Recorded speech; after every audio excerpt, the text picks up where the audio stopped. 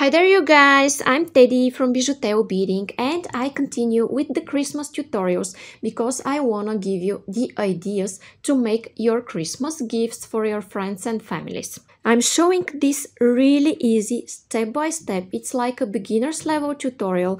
This is the famous chenille stitch that you may see in other tutorials on the net as well and uh, I'm sure you're gonna be able to make it by yourself. I also have a tutorial for matching earrings, so you could check it out here at the eye icon and down there in description as well.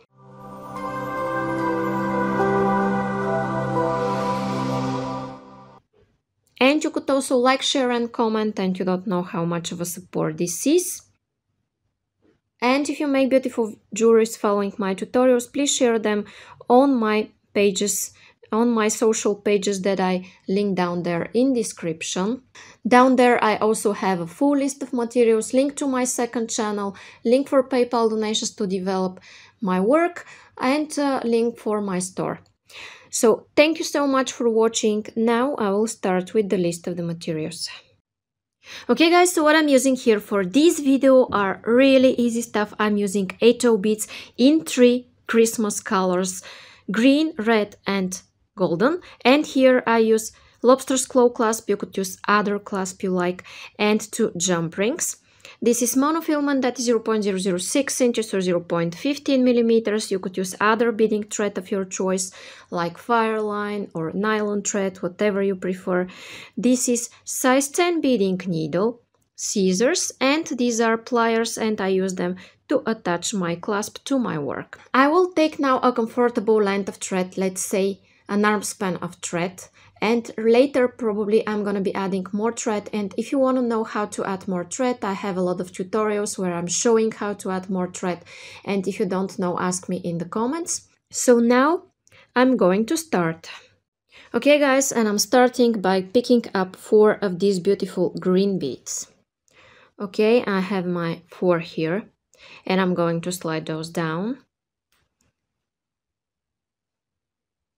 okay I will stick my needle in my mat and here what I want to do is make a knot and I'm making it by making a loop going. Twice through the loop I've made pull then I will make one more knot. Okay to be sure that it's all tight and secure and now I have a cross of four beads or what is called a right angle weave. Okay what I want to do is reinforce my work like this.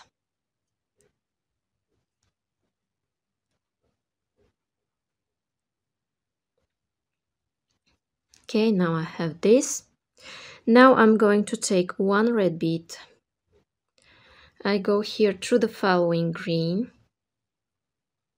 Okay, then I exit here from this side and what I want to take here is one golden bead okay? Now I have this.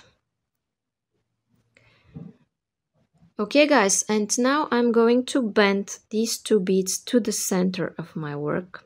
And what I do is that I go here through this green and through the following red one in this direction. And bend these to the center now I'm going to take two green beads and I'm going through the following golden, just like that. Okay, now you see what I have from this side, four beads like in a cross and I'm exiting out of this golden and I take two green beads and I go here through the red one. Okay and of course I pull. Okay, this is the famous chenille stitch, guys, that I'm showing you here. It's really easy as you may see. Just repeat two steps and you have a beautiful beaded rope. Okay, so now I'm going through the first green bead here. And you see, now I have very much what I had in the beginning four uh, green beads in a cross and that is why here I'm adding one red bead and go in the next green one.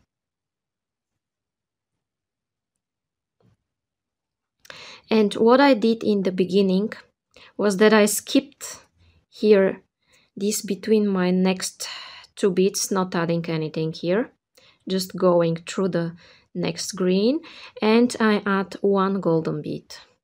Okay. And now if you can go through the next two green beads in one step. Just to make this one faster. Okay? So now guys I'm going here through this green one. Sorry through this red one I meant. And I'm taking two greens and I'm going through the golden.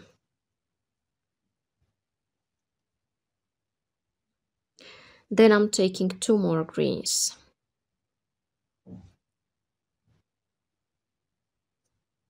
Okay. So this is the beginning of my bracelet guys. And here at this step here is the beginning the very beginning. I need to add one bead where I will attach my clasp that is why I will continue beading in this direction but now I want to return back to my work to the beginning of my work through the very first cross of four beads. I'm returning back, okay? And here what I wanna put is one bead where I will attach my jump ring and my clasp, okay? So I'm exiting out of this green bead as you may see and I'm going through the opposite one and in the same direction where my thread is pointing to okay you see and now this sticks out and I will be able later to attach my clasp to it okay but in order to make it stronger I will go one more time through it or you could do three or more times whatever okay so this is the beginning and now I want to come back to my work. You see what cute flowers form from here and from here. And you will see it grow as well later. So now I'm going in this direction. It doesn't matter through which beads. Just go in this direction. And now I'm exiting through the first green. And I'm continuing what I did before. I'm taking one red bead go through the next screen and through the following two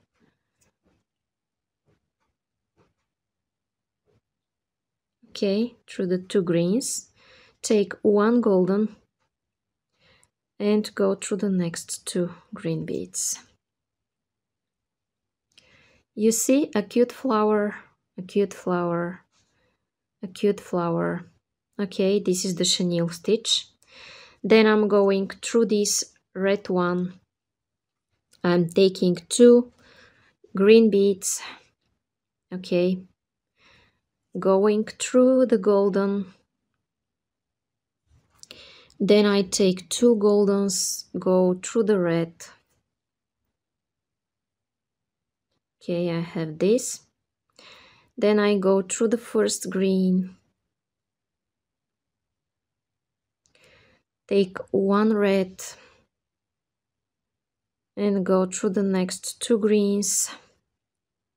Pull one golden the same way go through the next two greens. Go through the red. Take two greens. Go through the golden one row with two greens, two greens and one row with red and golden. This is all, nothing different, nothing difficult. Okay, so I'm sure you're gonna be able to make this bracelet. If you forgot how I'm doing it is just uh, rewind the video and repeat the steps from here until the end and when I'm ready I'll be back to tell you what's coming up next. Hey guys and I extended this bracelet, this Christmas wreath bracelet until the desired red. Okay and now I will take one bead here. Okay and as I'm exiting from this green bead you see this one. Um, first I reinforce those beads in a circle to make them stay next to each other and then I'm taking one green bead and I'm going through the opposite bead in the same direction where my thread is pointing to. Okay, and now I'm going through this green bead, through the red one more time, and I could reinforce several times here to be sure that everything will be tight and secure and the clasp won't move okay? Then when you're ready go here to this side and you could make a knot and cut your thread and how are you doing this? Making a loop going once going second time through this loop you've made pull. Then you could repeat this knot several more times and when you're ready go through the following seed bead and cut your thread.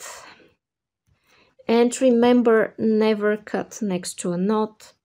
Okay i have my uh, christmas bracelet almost ready. I will show you how to attach your clasp Okay guys, and now I'm attaching a clasp here. If you want, you might not attach a clasp, but cl close it without a clasp. And if you want to know how to do this, I have a tutorial for earrings where I'm showing how to close this chenille stitch in a circle without uh, adding anything in between. Okay, the earrings look like this uh, if you have seen them at the eye icon. Okay, so if you want to know how to do this, and this is a little bit stretchy, so you will be able to make a beautiful bracelet and just stretch it and put it on your wrist if you want. Okay, just to give you the idea. And now here I'm attaching this clasp. I'm squeezing back in the same direction where I opened this up. And now guys, I have my clasp here attached to my work and I will put here uh, another jump ring and I'll be back. Okay guys and now my Christmas wreath bracelet is ready. So if you like it and you want to see more and more videos like this, it's a good idea to subscribe and hit the bell button. And in this way, you will know when I make matching jewelries to the ones that I have already done like the earrings that I mentioned before and I'm linking to in description and here. You could also like, share and comment and you don't know how much of a support this is. You could check my whole playlist with Christmas gift ideas and tutorials uh, and uh, you could make your gifts for the holidays for your friends down there in description you will find a full list of materials, link to my store, link for PayPal donations to develop this channel and link to all my social networks where you could share your beautiful works that you did following my tutorials. Thank you so much for watching, bye bye from me!